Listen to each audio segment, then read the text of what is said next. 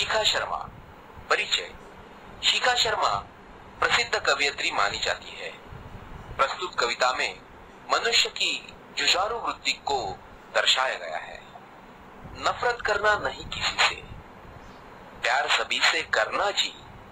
तूफ़ान तो आते रहते हैं, इनसे भी क्या डरना जी?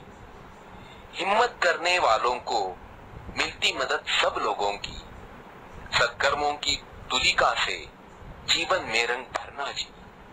हार जीत का खेल है जीवन। खेल समझकर खेलो।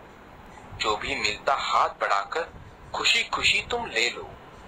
जब तक जियो, हंसकर जियो। एक दिन सबको जाना जी।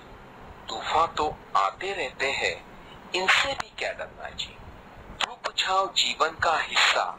कभी उजाला, कभी अंधेरा। रात हो चाहे जितनी लंबी। उसका भी है अंत सवेरा। समय एक सा कभी न रहता, थोड़ा धीरज धरना जी। तूफ़ान तो आते रहते हैं, इनसे भी क्या डरना जी? देह अभिमान के कारण देखो कितनी महामारी है।